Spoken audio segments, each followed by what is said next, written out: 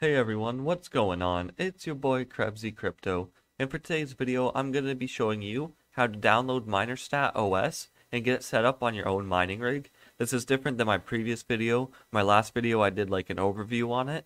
This time I'm actually showing you guys how to download the actual mining operating system, putting it on a USB stick, or you can put it on an SSD or hard drive, whatever you prefer, and then actually putting it to your mining rig and actually having it boot so you can use it yourself if you did see my previous video, I go over MinerStat OS and I just give a full overview of things. So if that intrigued you to kind of use MinerStat OS, but maybe you ran into some problems setting it up, this video will help clear some things up and get it so you can download it and run it yourself as well, depending on what graphics cards you have and such. But we'll be getting into that. So just follow along this tutorial and this will help you get set up on uh, MinerStat OS or MSOS in short. So what you want to do is come over to minerstat.com forward slash software forward slash mining dash OS. I'll post that link in the description so you can check it out. This will bring you to the MinerStat OS download page and allow you to download it. But before we do that, you want to go up to the right hand corner here and click dashboard. And this will bring you to, oops, didn't mean to put it in a window. This will bring you to your MinerStat page or for you, you might not have an account yet, so it'll be on like a login page. What you want to do is sign up for a MinerStat account, and this will allow you to have this dashboard. So yeah, all you do is click sign up and sign up like you normally would for like a normal website. It'll just go through your steps on like your username, email, password, whatever the sort. But once you're done signing up, you're going to be brought to this dashboard here. And up top here is going to be your market. You can edit it in the top right hand corner here by edit market view, but that's like the least of our worries. So what you want to do is come over on the left hand side here, and it's going to have all these like columns of options. You want to go under management and go to workers. Then once you click on workers, you won't have a worker here. So all you do is click add new worker, or once you do have the OS set up on a USB and you have the mining rig running uh, MinerStat OS, you can click discover new workers and it will audit, um, add it automatically. So if you choose to add it automatically, you won't have to go through this process. All you do is click add new worker and then this will bring up a new window. And all you do is click on whichever like operating system I believe it is you're going to use or whichever graphics cards. So if your rig's AMD or NVIDIA, it'll give you that option. Or it'll, it'll give you an option for MinerStat OS. You just click the MinerStat OS option. And then that will allow you to add a worker and then it's going to bring you to this worker page here and it might bring you to the config once you do have your new worker created it might give you it once you are setting it up but you'll have a download config.js and this is going to be your configuration settings. So your miner can read to this dashboard here because it's going to have your account info on it i believe. And then it um, once your miner is running it brings all the info to the dashboard here. So you want to make sure you do download your config.js so all you do is click on it here and it should download just like down down here the config.js i'll just download it just to show you guys because i'm just going to be showing you guys how to actually download this and get it running. But make sure you set up your worker before you actually go ahead and put the mining os on.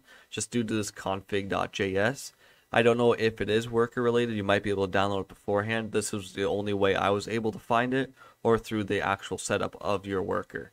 So if you go here and then you click add new worker, it'll bring you through a series of steps and that will allow you to download your config.js because I believe it's linked to your actual like login of your account. So it's not to do with like your worker. It's a confusing back end of things. I don't want to get people confused or anything, but your best way is click add new worker, go through the steps that it comes up on screen. I would show you, but since I have one running, it doesn't allow me to set up another one without a paid account. So all you would do is click like AMD or NVIDIA, and then you're going to click what operating system, and you want to click MSOS, which is the MinerStat operating system. And then that's going to allow you to download the config and set up your worker name and things of the sort. So once you have your config.js downloaded and your worker set up, what you want to do is come over here and click download MSOS. And this is going to be, you want to click this little drop down here. And this is going to give you your option for whichever uh, graphics cards you have, I believe. So this is GTX, RTX, P10X, LHR, RX 400, 500, the VII Navi 5000, and then the other one's Vega RX 6000. So I believe you'd want this one up top. This is the one I went with, the GTX RTX, because I believe this is AMD and NVIDIA cards. So just in case you get different cards or you, if you have a mixed rig or anything of the sort, I just go along with this top one here, and I, all you do is click torrent or direct.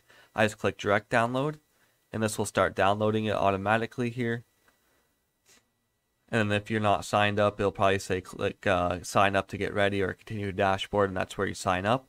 So all I do is let it download down here. I have it downloaded already, so I'm just going to stop it, and I'm going to show you guys what to do next. So then we can go ahead and get this running for you guys. Alright, I just had to re-download it there. I thought I had it downloaded, but I didn't.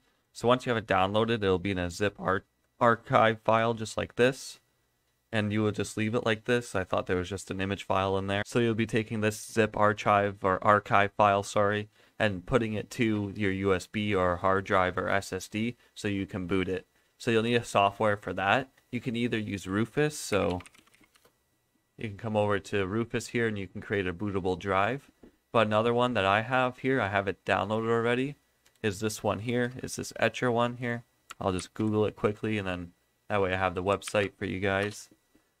But yeah, so right here, Balena Etcher, or you can just call it Etcher. And this is a pretty simple, straightforward one. Rufus is an easy, simple, straightforward one as well, but it just takes a little more. You gotta know like which um, hard drive format yours is needed to boot, like GPD, MPD, things like that. So where Etcher comes in and just does it for you. I just found that Etcher kind of takes that out. You just select your image, select your drive, and flash. And it's really that easy. So all you do is download whichever one you prefer. And then I'm going to use Etcher, like I said. So all you would do is load up Etcher here. I already have it downloaded and installed and such. So you click flash from a file and this is going to open up your downloads here. So you go to downloads or wherever you downloaded the MSOS. You just double click on the archive and then you select your target. So what will be here, most likely might be under hidden for you, is your USB drive. So you click on your USB drive, whichever like company made it, and whatever size it is, it will say like Kingston USB like 16 gigabyte or whatever because the recommended size for this, at least from what I've read, is 4 to 8 gigabytes or higher for USB hard drive anything. So all you do is click whichever one that you are selecting to move this image file to to boot from your uh, mining rig. So in most cases it will be the USB or the hard drive or whatever that you are setting up. And all you do is click select on that. And then all you do is click flash. I just don't have the USB with me right now. So like I said, all you do is select the hard drive or USB, and then all you do is click flash, and you sit back and just let it flash. And as you see here, it turns into the image file here. So once you have the image file in, you selected your target, so the USB, the hard drive, whatever, and then you click flash, and then you'll be good to go. You sit back and let it finish, and it will tell you once it is finished. It'll just go through this process screen of like, like uh, extracting, mounting, whatever. So you sit back, and once it pops up saying it is finished and complete, just close out of the program and remove the USB stick, and you should be good to go. Just one last thing. Once you do have the USB stick plugged in, I will just find mine here, just so that way I can show you guys this next step. So once you do have it mounted, you will have a USB drive like this. It might open up a few other windows saying it can't open because of partition or something. Just close all those out until you get your actual USB window here. And as you see, there's the config file. So that config.js that you did download from earlier, so right here for mine, you just want to click and left click and hold it and drag it over to the USB and drop it in. And then replace the current config. It'll pop up with a window. And then you click replace. And then that will replace the config.js. So that way it'll be your information. So once you boot up your rig, it will boot to your information and be available on your dashboard and things like that. So now you should be good to go. Just safely remove it and then plug it into the USB port of your miner and then boot it up and it should read from there if you have your USB set as the actual like uh, readable device on your computer or mining motherboard or whatever you have set up. But I'll be showing you guys that. So just safely remove it and bring it over to your mining rig and then we'll go from there. Alright everyone, so once you have your USB done up here, so I'm using a USB, like I said you can use SSD or hard drive, you just want to go to your motherboard and find the USB port. So in my case, it's right back here. And I'll just go on this bottom one and you just put it right in. If you're using obviously the uh, hard drive or SSD, you just hook it up with your cables or whatever. Do your normal thing. I always just, since I'm using a mining motherboard and everything, I don't have an actual hard drive hooked up. So just make sure you just have the mining OS hooked up. So if you have multiple hard drives or anything for any reason, my recommendation is if you're not too like tech savvy in the BIOS, just go ahead and remove all the drives except for the actual mining operating system drive. And in my case, it's a USB. So once that's plugged in, we'll just get this booted up here. Don't know if it's powered on. Yeah, there we go.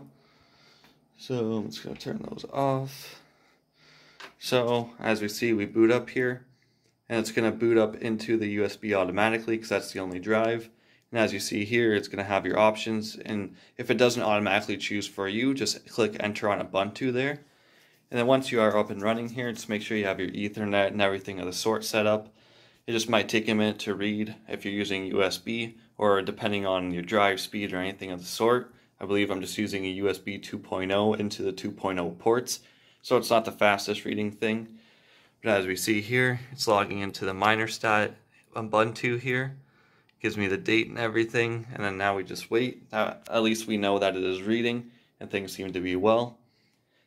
And as we see here, down here, configuring network, updating connection, updating the system, all up to date. It just reads to make sure you didn't add any new GPUs or anything of the sort. So let's try to get this focused. There we go. Now you just wait for that to boot up. It could be, like I said, it could take a little bit just depending on your mining system specs and things. Mine's just a simple, I believe it's just a dual core, dual thread, old older mining motherboard, but hey, I will take it as a gift for Christmas. But as you see here, it's just a bunch of validating, reading over everything. And then it's just gonna, if it is your first time running, it might overclock your cards. It automatically does that. You can go in and change the settings on your actual MinerStat OS dashboard if you don't want the overclock. But once it's all red and up to date and everything is good to go, we should just be up and running right here anytime. Yeah, there's the cards kicking in. So it's detecting the cards. Just trying to focus. There we go. So it might just sit on that blank screen for a minute or two, just depending, like I said, on your specs. Then once it'll boot up and it's going to read through all of your cards and everything like that. And then it's just going to overclock your cards if you do have the capability to. It's just going to read through so you can double check and make sure that it is reading both your cards, my two 1063 gigabytes. And then all this is just going to boot up and it's just going to confirm it's running. You know once it's running, once you get like your command prompt here, so just like that, you see your two green, so that means they're reading and they're up and running. And then you have here where you can check your miner and everything. Once this is booted up and you have it running and you know there's no errors or anything, you just come back over to here and then I might jump back on my screen recording, but you just click your dashboard and your rig should show up here. So as you see one one different coin, one active worker, so you click workers and then as you see it's green now which indicates it's online. Click worker 001 or whatever you did name it and as you see here we have it mining and it is running. So as we see, it's all good. It's reading your power, wattage, all your percentage of the cards and everything. And all you want to do is if you want to overclock or underclock, you just go to the clock tune right down here right by your graphics cards. So these will light up sometimes depending on the algorithm. Uh, it'll allow you to go in or even on the pool and change the settings. But if you just want to override that, you just go here on the clock tune. And depending how many cards you have, so I have two, so each one's going to indicate how it has like 85, 85. Each card is set to 85 watt power limit. The other ones I skip, skip, skip, skip, skip, skip. I just skip all that because I don't really do much underclocking or overclocking. But once you figure out which like settings you want, you click apply. You don't have to click apply with three start. You can if you want, but you can click apply and it will take effect. And then you can set auto fans or static fans. I personally like static fans. I keep mine at 70% speed. But yeah, that's pretty much all to it here. I'll just give it another reload. So as you see, it's up and running. It's reading my cards properly. And depending on the algorithm, like I said, these will be lit up and allow you to actually go in and edit things. But yeah, overall, it's a pretty nice dashboard. I find, like, if you check my overview, it goes more into, like, the overlook of everything, how easy it is for everything to use. But yeah, if you put your worker config in there, like the config.js, you transfer it to USB and made the USB properly and it booted up fine just like in the video here then you should be good to go and it should be reading all of your GPUs it should show your temperatures it should show your power and all that kind of stuff so for now I just wanted to show you guys uh, like how to get this set up and how to get it running for yourself in case you came across my video and you just didn't know how to do it yourself or it's your first time using an OS. So hopefully this gave you some insight into it. But before we just quickly go here, over on your command line here, so as you see, you can have the choice to view, so you can type in like miner here. So as you see, and you click enter, and then that will bring uh, up the mining screen, whichever miner you have set, because you edit everything from the worker dashboard here. So all you do, if you follow my uh, overview video, the last one I uploaded, you will see, you go to worker config, and this is where all your miner and pool information will be, and then your, um, where's the address editor on the left hand side here, is going to be where all your wallet and pool addresses are. So it's fairly well organized and once you get the hang of it, it's not hard at all. Between this video and my overview video, hopefully you get the hang of things and hopefully you're able to use MinerStat OS. Like I said, there's a lot of different, a lot of different operating systems out there like Hive OS, NiceHash OS, but I came across this one and I really haven't before. So I was like, oh, I might as well check it out and then just make a video for you guys. And then my overview got lots of like positive feedback, so I figured why not just do a follow-up tutorial to show you guys how to actually go about setting this up. But that's pretty well all I got for you guys today. If you did enjoy this video and this tutorial did help you, make sure to hit that like and subscribe button as it lets me know you guys are enjoying this type of content and it's giving you a helping hand. But I hope you all have an amazing day, and this is Krebsey Crypto signing out.